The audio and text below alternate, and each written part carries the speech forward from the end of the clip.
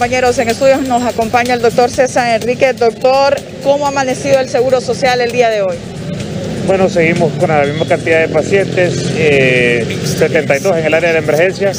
Igual tenemos 305 en el área de, hospitalización, eh, pero desgraciadamente hay nueve fallecidos en lo que va del día de ayer. ¿Nueve, doctor? Nueve. ¿Y siempre por COVID-19? Siempre bajo la sospecha de COVID-19, eh, la mayoría sin PCR, más los nueve creo que ninguno tenía PCR, pero todos tenían la sospecha clínica de COVID.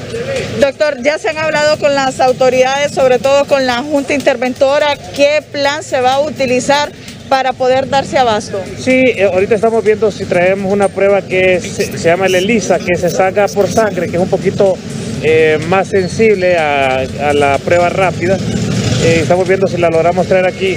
Obviamente siempre la diagnóstica sigue siendo la PCR, que no hay en el país, solamente lo tiene el sistema de virología y eso obviamente nos retrasa un poquito el diagnóstico. ¿Ahorita ya no tienen pruebas rápidas?